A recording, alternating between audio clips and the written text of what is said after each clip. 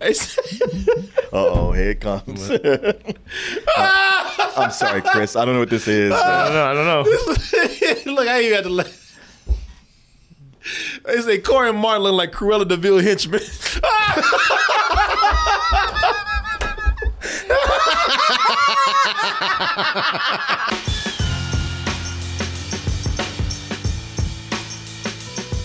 Hey everyone, support our Patreon, which helps us to continue bringing you our live streams, videos, and podcasts while bringing you new content such as exclusive live streams and animated shorts. I tell you, people, what do I like more?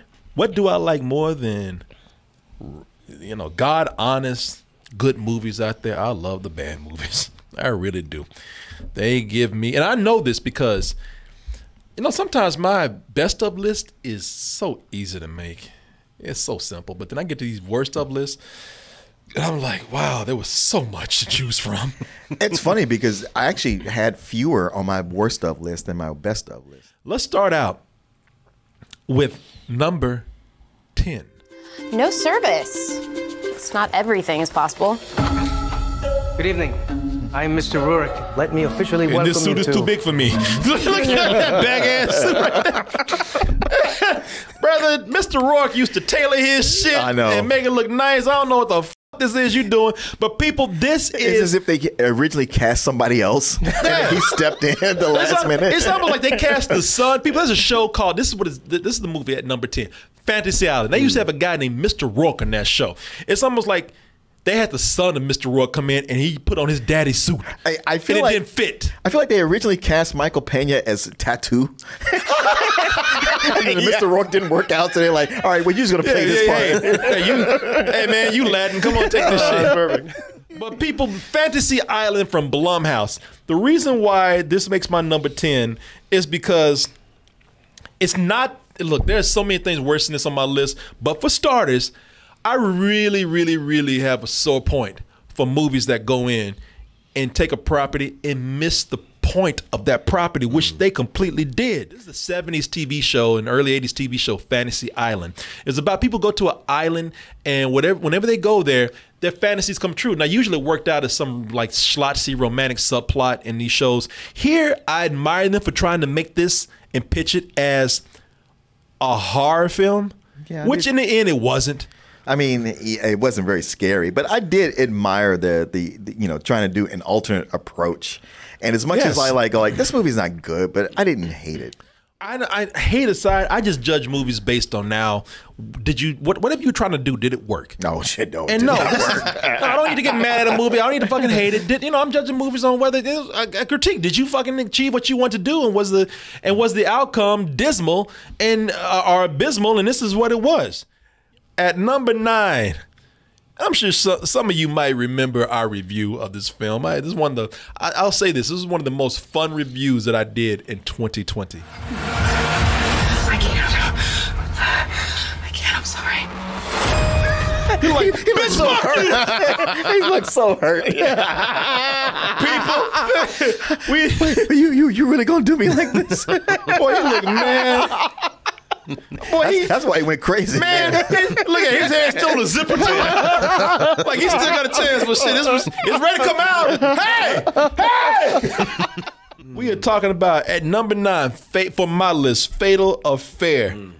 In their attempt to make another Fatal Attraction, they went they, they, they went so so fast from zero to a hundred Yeah. that this shit got stupid. It really is a story how Blue Balls drove a nigga crazy. there ain't no way, there ain't no way else to play. And that brother, Because that's a look like shit. It took me ten years to get this lined up. I've been following your ass on Facebook for a decade. I don't know how I'm gonna do this again. Man, let me tell y'all something. This movie is is because listen, it's two different characters, and the way it switches, it's insane.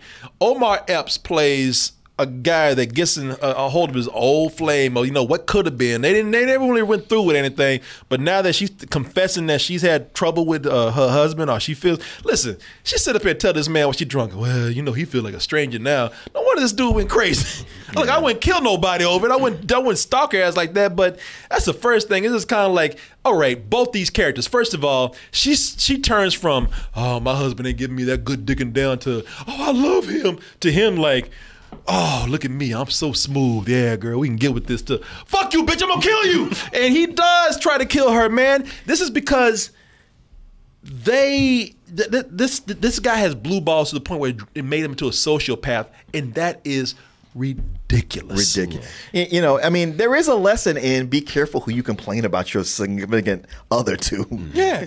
You don't know the mind of a killer, so I get that. But there's points in here where he gets with a younger chick mm-hmm. and still is mad at this, the, the the chick he's trying to get with. And I- And her best friend doesn't believe her when she says, Oh, "This God. guy's psycho." That's yeah. right. Mm-hmm.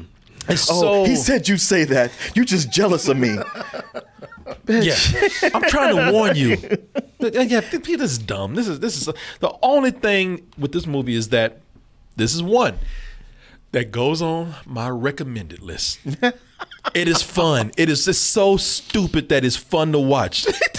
Brother Brian, oh, picking fits right. I mean, the ending of this movie is absolutely hilarious. Everything really- oh, yeah. involving the hobo, who is oh, who is who is the that. character I care the most for? Because oh come on, I didn't do he didn't need to that didn't need to happen to him at all. And even that, no, yeah, people. That's what I mean by twists. They have resolutions. The criminal who's Omar Epps here thinks of things to like get around the law, and they none of it, none, zero, makes any sense.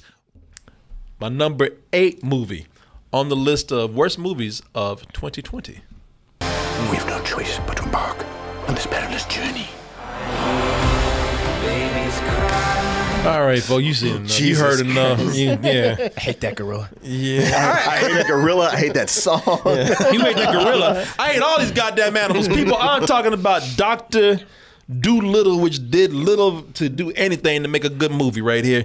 This right here made animals talk, as you know, with the legend of Doctor Dolittle, and gave them the most annoying things to say, and they never shut the f- up.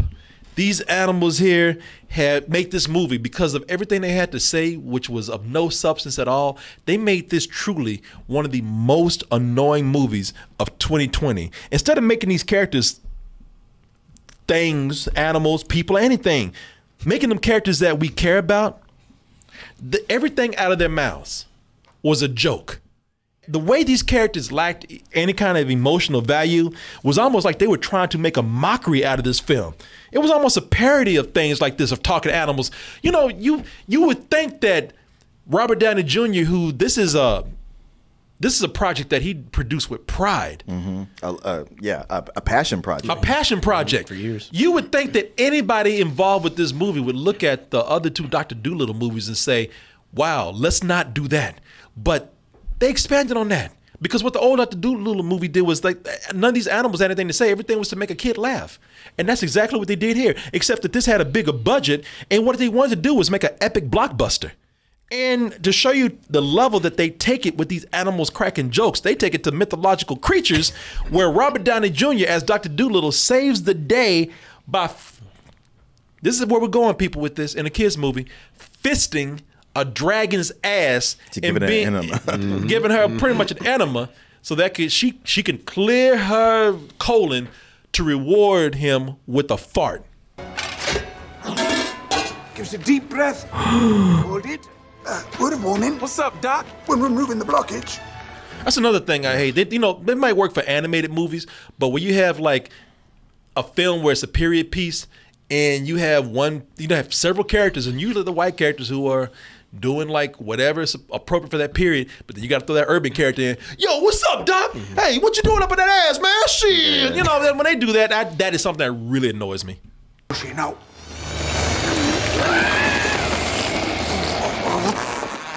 and long too, boy. People, this is just this is just a this is a bloated blockbuster. This is a bloated blockbuster wannabe, and I'm not gonna blame Robert Downey Jr. You know, he's producer. He wanted to go in and do something. I'm sure that was different from what we have here. But the cynical way that, that they try to give kids what they think is funny instead of giving them anything of depth, that is another that's a that's another sore point with me. Let's go into my number seven movie of 2020 as far as worst movies of 2020 that I've seen. And Noah and I spent the whole summer together. breakups are basically automatic. Automatic. Sometimes I hate high school. People, if you couldn't tell by the annoying dialogue right there. five years ago, you mean? Yeah, people, you can tell by the, the annoying dialogue right. This is the kissing booth mm. too. I'm honestly shocked to see this on your list because when you did the review, you seemed favorable to it. I don't think I did. I think it was funny, you know, but I said this is some bullshit. I gave this I gave this straight up bullshit. And the reason why I gave this bullshit is because we you know, I was laughing at some things. Like I said, I don't get too angry at movies, you know. I just laugh at some of the things that they do. And this is where we start to get into the offensive area. This is why this is high on the list than some others.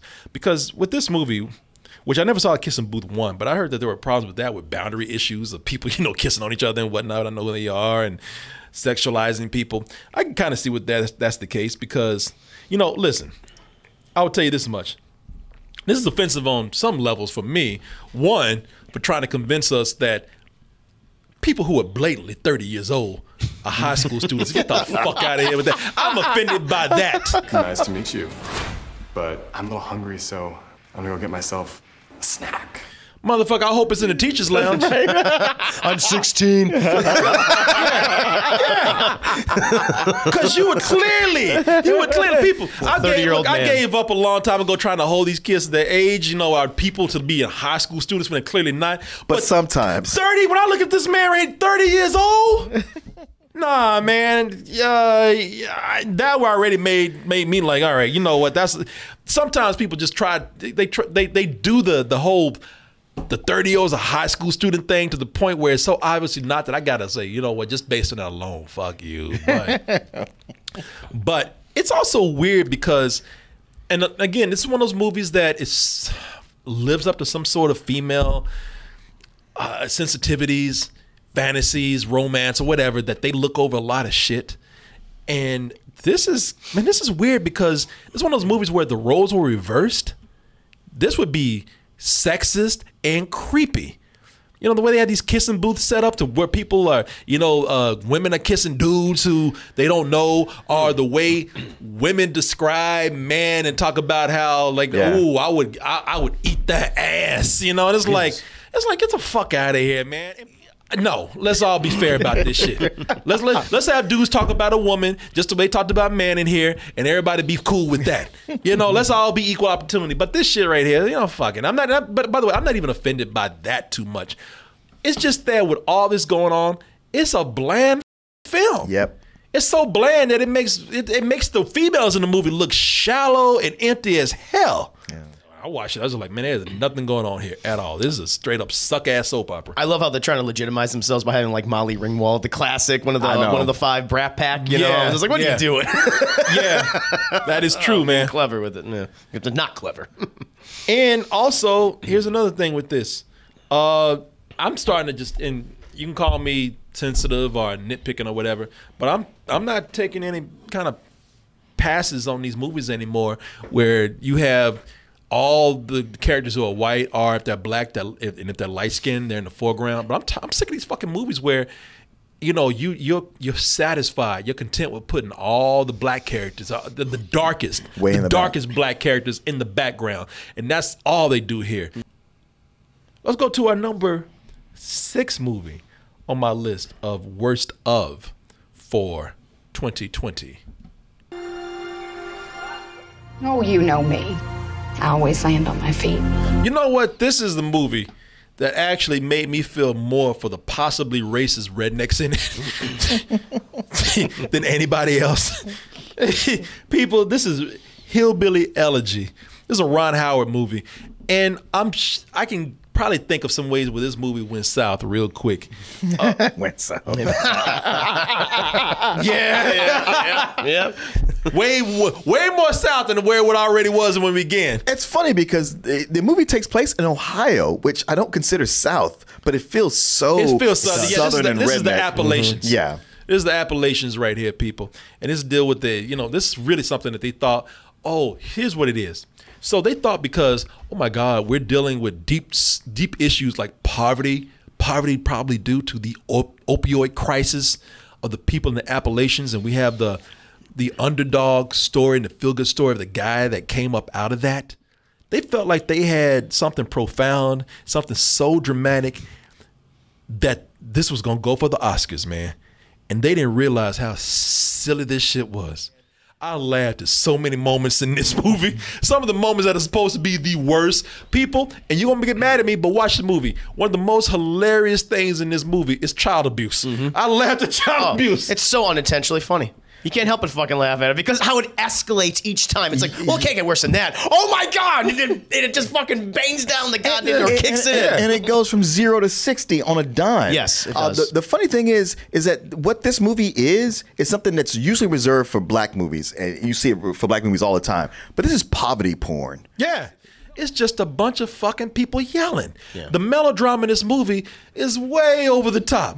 They think that yelling equals drama. It's melodrama at best. It just feels rushed and disjointed, which what is what make things feel funny because it almost feels like these are just isolated scenes because they're not connected to each other. Well, they they do the dumb thing with the flashbacks. They do flashbacks to the whole and, thing. and it, and it hurts the movie a, a lot. Yeah. Uh, and, and I have friends who've read uh, this guy's book.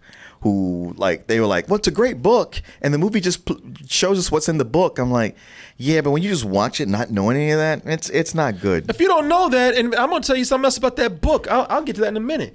But you know, a lot of this movie feels disjointed because the flashbacks that they do, and it feels like there's a feeling of this movie being rushed.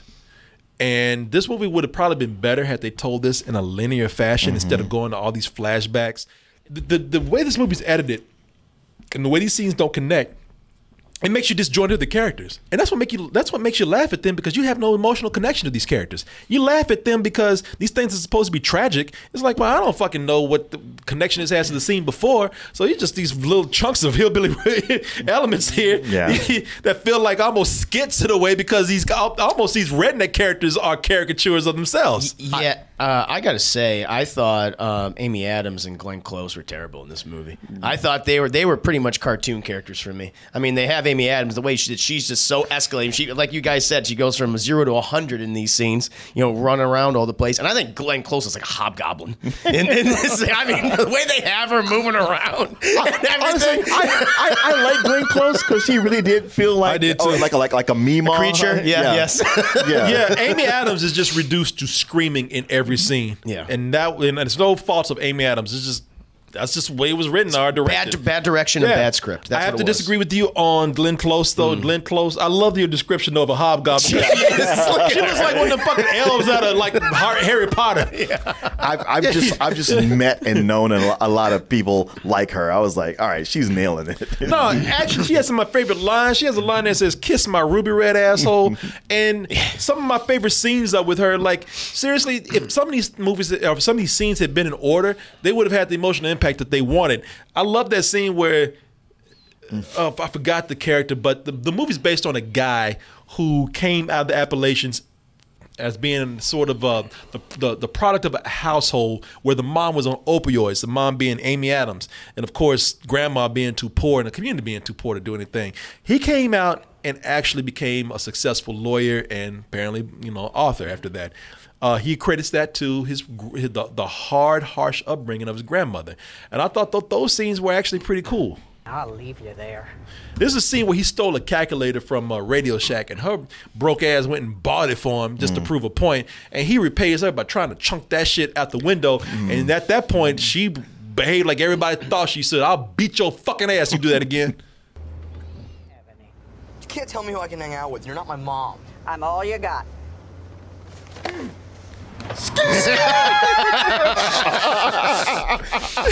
Well, you know that's that's a really good scene. So there's moments in there where you actually see the movie and the potential that it had, but overall, it's just man, it is it is really overrun with so many scenes of melodrama. That's ridiculous. Yes. It's, yeah, So I- exaggerated. Well, well, just even the the the conceit that that he's like, well, I have this this interview with a big firm that could really change my life, but my mom's using it again. I don't know what to do. And you're like. Bitch, are we gonna have to sit through 30 minutes of this movie while you can't figure out the most obvious answer to all yeah, this? yeah, shit. Fuck your mother and help her later. Yeah. Mm-hmm. get off that shit when you got money. And it's funny because you, you're saying that this movie was rushed and didn't have enough time. It's kind of long. They had the time, they just didn't use it well. I think no. I think when you see a movie that's long, they had the footage because you can shoot a lot of shit. Yeah. And still not edited that edit that. Oh yeah, no, the editing's bad. It, Yeah. it, it yeah, it, like you watching, you're like, okay, the thing you should have focused on, you didn't. No, had, you didn't. You had all this other stuff. But before I leave out of this film right here, the, my biggest thing was like the, the, almost the source material. Yeah. Like I said, man, you know, this is. I felt for these poor people in the Appalachians when they do have an opioid problem, whether they be racist people or not, I don't know them, but all I know is is that it's another one of those movies that says, "Hey, you know what? Based on the source material and that book that it's based off of, hey, I made it, so all these people can make it." And it's Yeah. like, get the fuck out of here. Yeah, he's he's he's one of those bootstrap guys, and Yeah. you're just like, man, fuck you. And you- because yeah. he, 'cause he's talking out of two sides of his mouth. On one on one side, he's going like, hey, these people have problems. The opioid crisis Yeah. really hit them Yeah. hard. You don't understand. But on the other side, it's like, yeah, but I got out of it, so it's really on them that they can't get out of it. And I always say this when it comes to like the inner city with black people, but I say this with anybody. You know, though, you know these these these these poor white people, man. They everybody thinks that that you know uh, uh, uh, pick yourself up by your stroop, by your bootstraps uh, explanation is gonna work, and it doesn't. It doesn't. All these poor communities, there's a whether you be black, white, in between. There's always a social and economic thing that goes on with them, and this movie's trying to like you know just. Really, just narrow it down to well, just work harder, and it's like, Yeah. fuck off, man. These motherfuckers are strung out on drugs. Well, I did it so other people can do it. It's like those other people aren't you. Uh oh, here it comes. I'm sorry, Chris. I don't know what this is. I don't know. I don't know. look, I ain't got to let. They say Korey and Martin look like Cruella de Vil henchmen.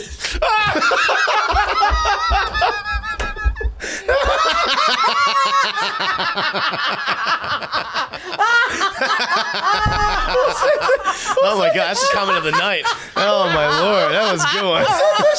oh fuck! Oh, they nailed this. What's that thing? oh, I forgot. I can't see who said it. It went by too fast. Let's do the uh, number five movie. The number five movie on my worst of 2020 list. Worst of movies for 2020 list. Between Adolf Hitler and Al Capone, Hitler's dead. What's this about? We have information that your client may have tucked away a very large sum of money. You know what? I admire the I admire the uh the thought process behind trying to make a different Capone movie. This is people this is Capone. This is by the director of Four Fanta Four Tastic. Fanforstic. Fanforstic. What's that guy's name? Uh, Josh Josh Trank. Trank. J- Josh Trank. Josh Trank apparently has this whole obsession with body horror, and he decided to apply it to Capone, the Al Capone story. Then this is Al Capone, which has the actor. What's his name? Uh, Tom Hardy. Tom Hardy. Tom Hardy. Tom Hardy, who people keep saying like he can do no wrong. Bullshit. He's been doing that. He's been doing wrong for years, in my in my opinion. Yeah. So with this one, it's an it's a good idea to show uh, uh, uh, Capone in the years where he had syphilis just falling apart. I I I, I applaud that Cool different approach. It's a cool idea. But when your movie falls apart with it, that don't make no sense. Because all it is is this man just sick and being more disgusting as it goes along, and that is your movie. Well, I blame also the scriptwriter, and I also blame the director, because if this is what we go by with the script, this went nowhere. Nowhere. I mean, really, it's just about a guy deteriorating to the point where it's not tragic. He's he he's comically babbling. I mean, there's a point where he starts farting in this movie. You know what? I'll see if I can even find the scene. If Fart if it was shit. revealed that the actual scriptwriter was Adam Sandler, it'd be like, oh okay. Yeah, there's a scene where he's farting, and it's played up for laughs. And this is, and, and, and if you have to ask yourself, is this meant to be funny, or is this, m- or, or is, is he paying, playing this seriously? Then there is, there is a, a, a there's a, huge problem. problem. There's a problem.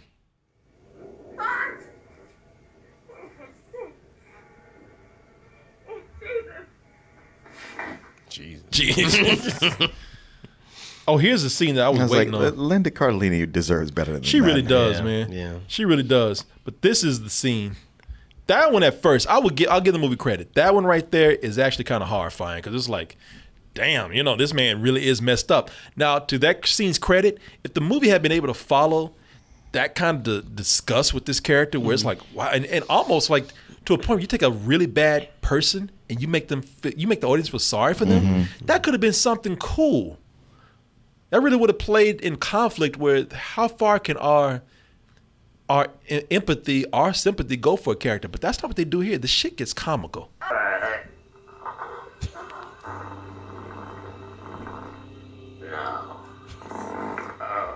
Okay, gentlemen.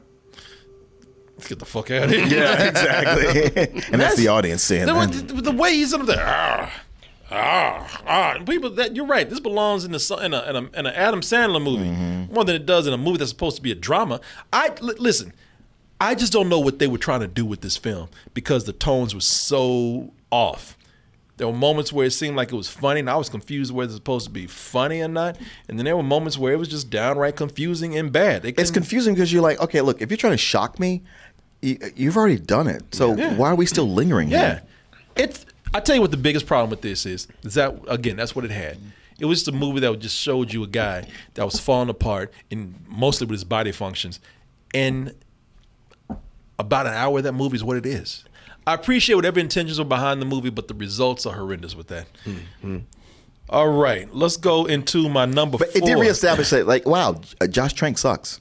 Yeah, well, like I said, I ain't gonna get personal with. He might make a movie at some point. I don't know. I, I, I hope he does. Yeah, Even if I say I- somebody's bad, I know everyone can turn things around. Yeah, I I know he had a vision with this, and I applaud you for trying to do it, but it just didn't come out that way.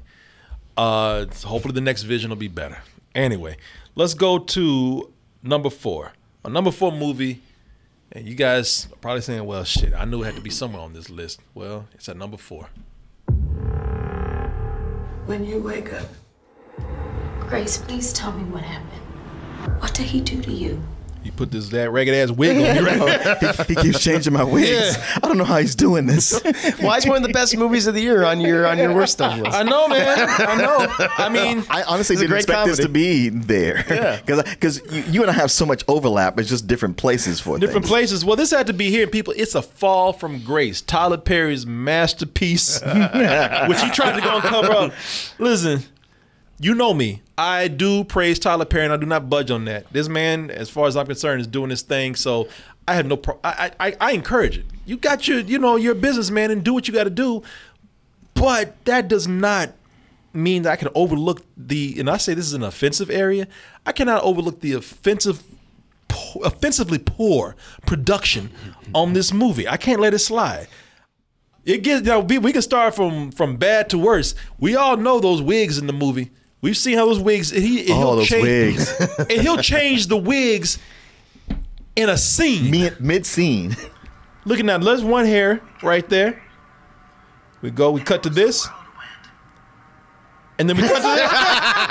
People, that is the next shot. That is the next shot. Let's also You've changed. Have I? and also, people, and I have to pick, and I'm gonna tell you why I have such bad footage of this. Let's also take a look at the infamous diner scene mm. where my man in the background was not mm. only drinking but eating air. Tell me something. Watch this dude. I mean, I'm- Num num num. num num num. Didn't even put it in his mouth. The fork didn't touch his lip at all. Eating oxygen. People, that's Chewing also good, too. There's also Satisfied. one where there's a glass. Look at that glass. That glass ain't got Yeah. nothing in it, but he picks that up and like. Mm, ah. People, it's acting. yeah. and now you would say, well, Tyler Perry is doing his thing. Let the man do his thing. But he listened. And you, for, for people who talk about, well, you critics out there, you snarky critics, man, y'all just go too hard on people. No, this is one of the few cases where I say, when somebody does something that bad, you have to call them out on that shit. It makes them better filmmakers and it makes them conscious of what they do, it makes them aware of what they do. He went back and changed all that shit. Mm. Did If he? you- yeah, you go on Netflix. He changed all that shit, man. Oh, I showed you the scene with the with the hair. What he did was go back, and you probably won't even notice it. I'm gonna show you this scene with the wig. He went back and just used a different angle to where you won't notice that cut. You know Danielle Mitchell. She died here. Was that they had sent me the worst of the worst. So what they did there was just use alternate cuts. Mm. Right. They use different angles and whatnot. It, that's probably, I think there's an angle here later on with it that they use. That's too bad. Yeah, yeah, it, is. it really is. I can't enjoy it the way I want to now. Yeah, no, it is. yeah, you get friends over. You're like, watch this. Oh shit. Yeah, release the Perry cut. In that scene, apparently that scene with the guy that was eating uh, air in the background, that's edited out too. Oh, Thank you. I know you've had many young, beautiful women. yeah. So they went to a wide shot with that, It, where you don't it see works that. better to do it this way. Why didn't you do it that way the first time? Korey, I- t- tell me, answer me. yeah. I don't know, but all I know is that this is where criticism comes in. Not everybody's trying to be mean. I've kind of pulled back from trying to like again take things personally from people because directors have visions and things don't always work out the way Sure. sometimes you think they do. You look back at the footage Yeah. and you're like, damn it, this was a perfect shot, but I can't use it. That's why I don't want to pick on any kind of directors or people. But look, I will, sh- I will, I will talk about what's in front of my face, and I look at this and I say, all right, this is where it comes in, where people like criticize something, and, and you know, hopefully it makes people better because, as you said, that worked better right there. Mm-hmm. And but I, the, they look. Even with that, that movie wasn't all that great. But with the, the cut that I saw, with all the mistakes, we're going to that, and that made that one of the worst movies that I'd seen this year, but also one of the best movies I saw this year. Mm-hmm. Hey, look, I have to criticize it up on the worst list because it's not the director's vision, and he wanted he wouldn't want to recognize for like the way I look at it as being one of the best movies. Sure, that's not the way he want to see it because as, I, as far as I'm concerned, this movie is the gift that keeps on giving. Ashtray, bitch. you know, look, we've gotten a lot of mileage out of this movie right here. And that goes on my list as well. also one of the most entertaining movies of the year. And I do recommend the film, but uh, I believe they, they meant for it to be. All right. We're getting down to it, people. We get down to the top three worst films of 2020 of my list. Let's go to number three. You know what? I probably don't even have a whole lot of explanation for this. This movie speaks for itself. Can I help you with something, ma'am? Are you available? Yeah, it just might be. You can take care of yourself just fine. Now you're looking at this, you're like, what kind of lifetime shit is this, people? Lifetime was like, eh, no, I don't think so. So people, you don't you don't even know probably looking at that part right there what the hell this is. But let me see here. I'll I'll move it up to a part where you'll finally understand what this is and probably why this goes on my list because the the the more offensive the movie was, the higher that it ranked. Uh, you're looking at that and thinking it's some lifetime simple, uh, you know, uh, uh, romantic shit. Oh no, no, no, no. Family. OJ did a lot for them. That's how he draws people in. so you didn't even know. I didn't know this existed. No, I, I, I knew what it was. People, Oh this is the murder of Nicole Brown Simpson. This is one of the most offensive movies on this list. Oh no! Because Plus, it stars your girlfriend. oh yeah, oh yeah, what's her name? Uh, Uh, now I'm blanking on it. Why am I? oh oh um oh oh fuck uh, oh American Beauty. I know. Why? Why? Why I just go blank? I was going to say her name, and until you asked me, and then my, it went. boop. Yeah, you uh, man, you forget my girlfriend's name, man.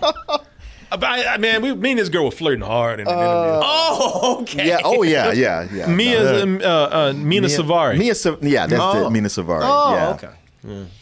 Yeah, we did. Yeah, y'all heard the story. We did an interview with her. Her and uh, Uh, what's it? Thora Birch. Thora Birch. They were, they were flirting like a motherfucker in the interview, man. I think they were kind of drunk. Yeah, but you know, I, I think they were drunk too, but I don't know, man. Like especially me, she was she was all about you.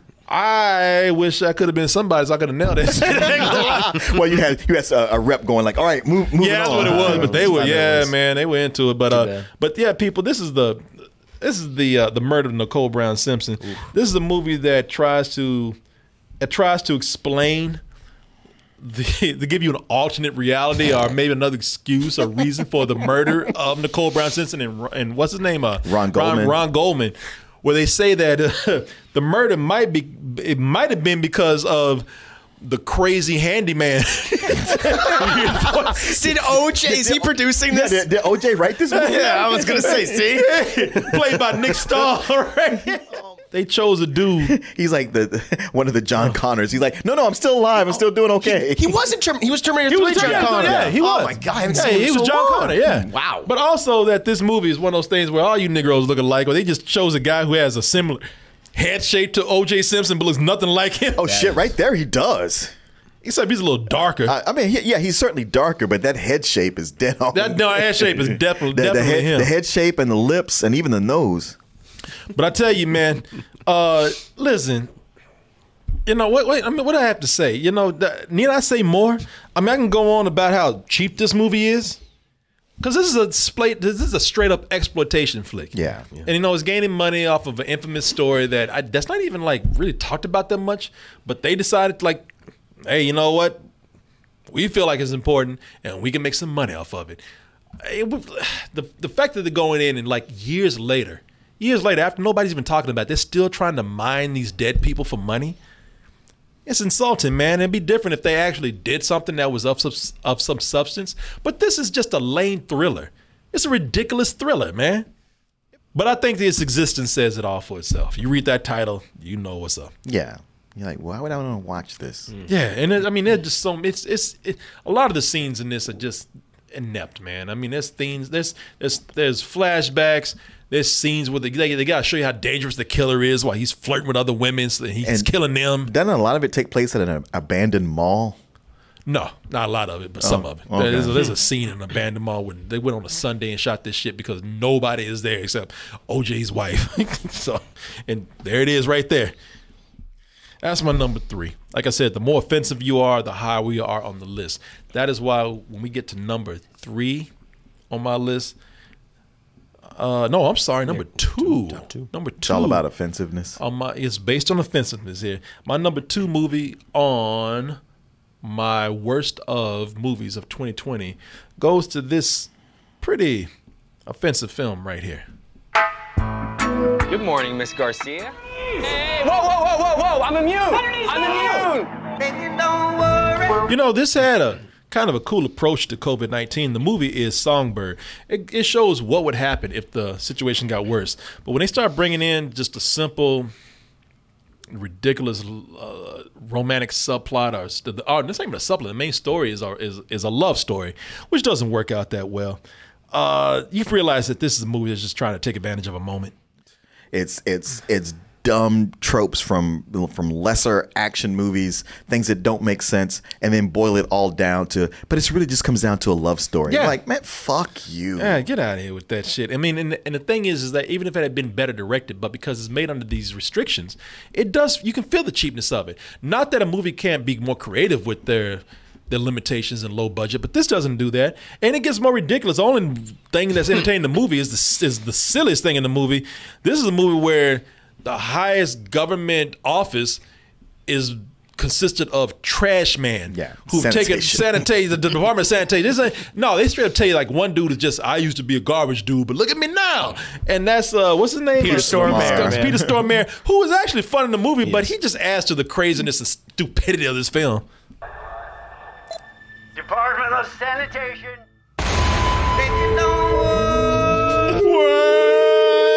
Where they stick his name first. Producer Michael Bay. It's the new Michael Bay movie. He's like, listen, I, I just put my name on it. Sorry, no, it's your movie. maybe don't worry they chop and screw this shit Yeah. This is my message to you. Yeah, uh, I know you're in there. yeah. He- he's actually funny in the movie, but man, He the movie's just so. Listen, if it was not the involvement of COVID nineteen in there, it might be a bullshit movie at best. But but because they pulled that in there, you could tell that they're like trying to take advantage of a moment. It's Yeah. like, uh, come on, man, if you're gonna do that, make a make a better film. The Yes. reason why it goes to fuck you, and the reason why it's number two on the list is because at a time when people are still dying from this and if we have we still don't know and there's a new strain out there and it's just people who are believing lies. This th- and, and, and, and disinformation which is making the situation worse the reason why this movie gets a big fuck you for me and it's number two on the list and almost number one if it weren't for this other film um, it's adding to this to, to to the situation that is bad right now. It is feeding into the to the fears and different disinformation that people are buying into because the movie's telling you like, oh, look at the government holding you down. Look at the government telling you what to do. The government is evil. The government is evil. They're taking away your rights. Ignore everything they said and you just be you. And you know what? Especially if you love each other, fuck all these safety precautions. You do you. So for the the the, the this movie adding to a bad situation already where we're trying to get these people settled down from believing all this bullshit, this movie makes it worse. This is some this is almost like a piece of propaganda in a way. Only thing that what you're because you're asking yourself, well, what could you uh, hate more than that? I, I, I do know, Yeah. and I and I'm I'm ashamed I didn't have this on my list. It should have been number one. Well, Martin, you can still add it, or you can come in and make an, um, you know, some amendment to it. But this is people. My number one movie that I hate, I've absolutely fucking hate. It makes me almost hate other people. Number one movie, in my worst films of 2020 has the honor of this film right here, and I see some people already guessing it. Are you lost, baby girl? Why am I here? I want to get out now. Afraid this is impossible. You know, people, you hear this being spoken in another language. I think the other language is Polish. It is because Polish. This is Yeah. a Polish. This is a And- Polish and, film, and that's why it skipped me because I looked at the release uh, 2020 releases from American movies, and that's why it went under my radar. Yeah, people, this is 365 days. I look. I, I'll tell you something. I'm less angry about movies. You see me trying to be fair about shit. I've said this. Like I'm not trying to take things personally with films, but this is why it's number one on my list because it is the most offensive thing, mm. and it makes me really want to. You know, this time where people are supposed to be more conscious of this kind of thing, it makes me fucking mad at them, and I want to be on their side. This is a movie I look at it and I want to like not I, I want to see what people are seeing with it because this piece of shit pisses me off, man. Uh, it's a story of a man who kidnaps a woman, holds her holds her hostage, does sexual things in front of her until she's Stockholmed into pretty much fucking him, and yet it's pitched as a love story. You know what? and it's pitched as a love story in, instead of what it is rape women get this idea of being swept up even though you're supposed to be. And y'all you women need to get on these motherfucking bitches who think that this is cool. Call them out. This is like i told you this is like black people looking at slave movies talking about oh my god those were great times weren't they? Yeah. oh my god those guys are awesome those slave masters. They, uh, they, I mean, treated us so cool, well. right? Man, though that slave master fed that guy and gave him a lot of clothes right there. Man, those were good. Those man, those were the days, weren't they?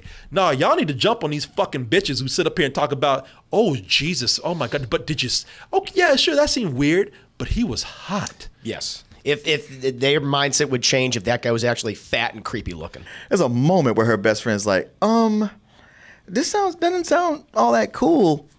No, no, it's great. No, no, girl, you're right. You're right. It's it's uh, awesome. That that I'm Yeah. just like, you gotta be kidding me. No. no, yeah, you know what? For all you so-called feminists out there, and the ones that gonna jump on me because I used some word that you didn't like, or I said something, or I didn't like think Wonder Woman was the greatest woman movie in the world, whatever. Fuck you, guy. Suck the dick and hang off the balls if you like this shit right here, because this is truly offensive. It's trash. Yeah. It is garbage. I've never seen a movie, and and Netflix should be a fucking shame of themselves for putting this up here, and that is why it is the number one movie on my list, hands down. Nothing else could pass this right now. A movie about fucking rape. Get out of here.